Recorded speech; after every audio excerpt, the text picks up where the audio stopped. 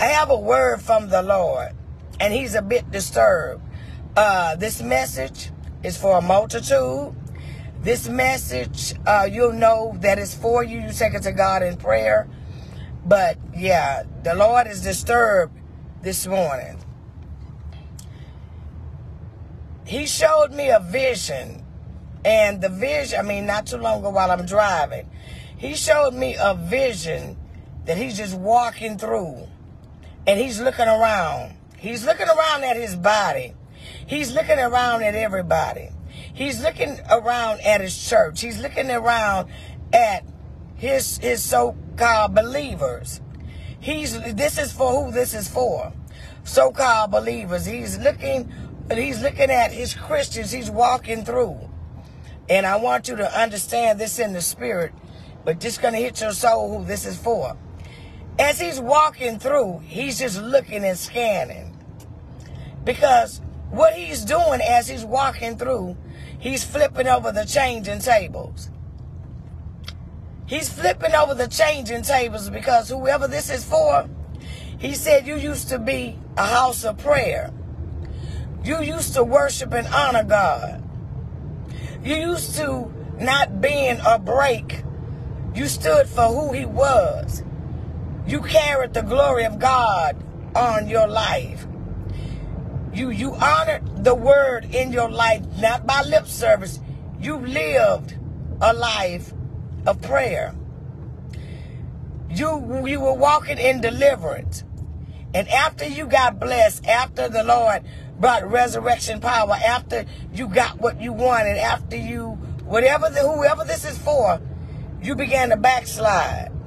You began to go backwards, slowly but surely.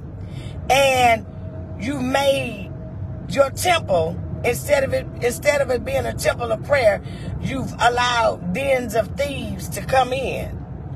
And so he's warning you. This is a warning. And it's a blessing for who, who, who understand this.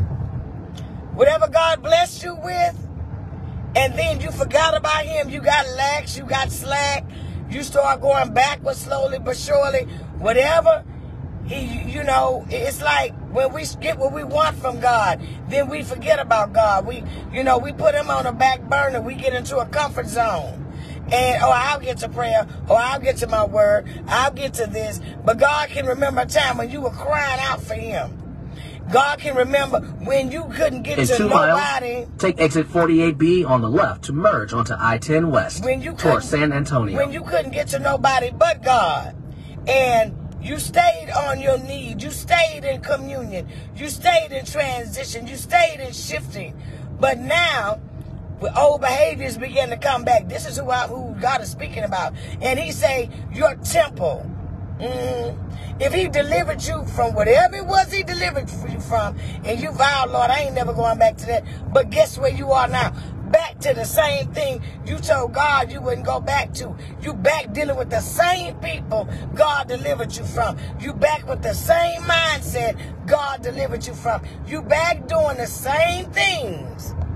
The same things that the Lord pulled you out of. It's it's so it, it amazes me how we can forget when our back is against the wall and no one is there but God, right? And then when we don't need Him, we put Him on the shelf, and God is looking. he's oh, he's being a great spectator this morning because you may not this time.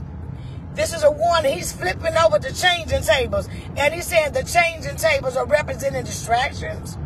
He's giving you a warning about them old people he told you to stay away from. Old habits, whether it's drugs, alcohol. Because this time, how you know you're going to come out of that? This time, your life, your life may depend on this. If, he, if he's giving me this message to deliver, this is a great warning for whoever this is for. Because God love you. And see, when we get what we got, whether it's a new wife, new husband, a new Use job, the left two lanes to take exit 48B on the left to merge onto I-10 West new, toward San Antonio. whatever it is, and then you get comfortable, and you get lack, and you forget all that turmoil and you was crying in silence. And when everybody left you, and then God was right there, He built you up. And then we go back because we forget. Mm-hmm. Exit left. God is flipping over the changing tables. He's getting ready to disrupt something in your life because He's trying to save your life. He's trying to save you. God is no one to play with. Okay? And when we do what we want to do, 23 see, miles, continue straight. we think we belong to ourselves. God is getting ready to do a divine intervention in, in, in a few lives because He's not going to be mocked. He's very careful. Be very careful about how you play with your life. Be very careful about your steps. Be very careful about the things He have delivered you from. Who this message is for, I pray you, you repent and you return back to the house of prayer. Because the thing is, you don't see what he know that's coming at you. You are uh, not under protection at this moment. You think you are, but you're not. Whoever this is for. And Satan has asked him to raise the hedge on you. Uh, I hope you are hearing this message. Because whoever this is for, you backslidden. After you got blessed, you dealing with whatever you dealing with and you know is out of the order of God. Satan acts to sift you like wheat. And God is allowing it.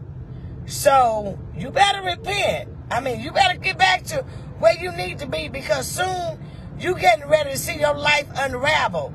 And it's only by your choices and your decisions because you walked away from God once you got comfortable, once you got blessed. Okay? This is who this is for. I love you all so much. I've been where you are, years of torment and just stupid decisions and things that didn't even make sense. And don't, why would you want to go back dealing with old behaviors, old mindset, things that, I mean, after you get blessed and then you get so comfortable, that's a setup from the enemy. And then we don't think, oh, I get to God. I pray when I pray. I read my word when I, when you was in your word so deep, I mean, you was moving mountains. And now you can't move nothing. Because you done got back to drinking, you done got back to drugging, you done got back to old behaviors, you done got back into lust, you done got back into gossiping, you done got back, come on now. Really now? That's not, that is a setup from the enemy and all Satan is doing is telling God, look at your people. I told you I can get them back. I told you they wasn't gonna serve you long. I told you I'd have them. I have them serving me again. That's what he's saying. And guess what? A multitude of you are proving him right. Sisters and brothers, it's nothing out here but a bunch of garbage. The grass may look greener, but it's a setup. Trust me. All that glitters is not gold. If you dealing with, if you married and you in adultery, and you, you, I mean, whoever, I mean, God is speaking this morning. And I pray you are understanding the warning that he is releasing. He is flipping over the changing tables. And only you know what those tables are in your life, who this message is for. We are in September. There's a lot of transitioning and birthing that's being released in this month, and Satan knows it. And he is pulling, and he is setting up God's people to fail. I'm telling you, what's trust me on what I'm saying. And when you're not praying, That's all he need. He know how to bring distractions. He know to bring all them old people, them old foes acting like friends. He know how to bring people that behaviors that you've been delivered from around you to all of a sudden they want to come chill and they want to come visit. Y'all better hear me. And then they smoking and drinking and you know you ain't been doing this in a while. Or somebody you know you used to like and they full of lust and God done delivered you from this. Okay, I am telling you. He is getting ready to set you up because he's showing God he can get you back. Repent, come back to the Father. Again, God is flipping over the changing tables in your life. He is trying to get your attention, and you know whoever this is for because he's unctioning you, and you constantly put him on the back burner. Come back to the Father. This world system is designed to kill you, steal from you, and destroy you. And it's not going to be in that order. God bless you, kings and queens. I really do love you. Live a purpose driven life. Don't be duped and seduced by the things of this world because it set you up to fall in the pit of hell. And once you fall in it, how you gonna get out? That's when you gonna cry out to God? When God is trying to get your attention now. Remember, we see limited. God see everything that's coming at you. You can be under his protection or you can be under your own. Choose wisely. God bless you. You have a wonderful day, but please heed to the voice of Holy Spirit. This is not a game and this is not a joke. Live. Can these dry bones live? Ask yourself that. Have a wonderful morning.